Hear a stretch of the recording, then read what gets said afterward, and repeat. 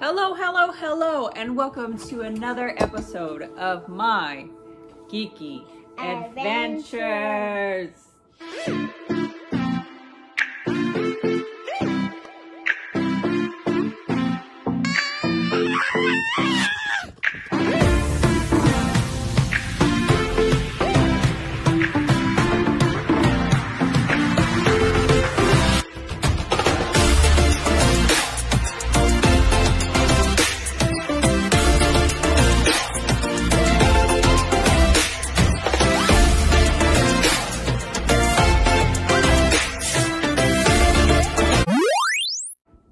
Okay, so we're back.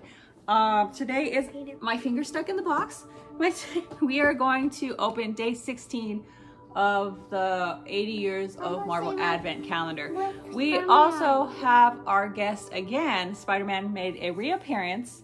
He's just kind of skipping saving the world and, you know, saving New York. He just kind of wants to, you know, reveal pops this time, reveal Marvel pops. So, well, thank you for coming back, Spider-Man. Thank you. So, today he gets to open it up and he's doing day 16 and we got, ow.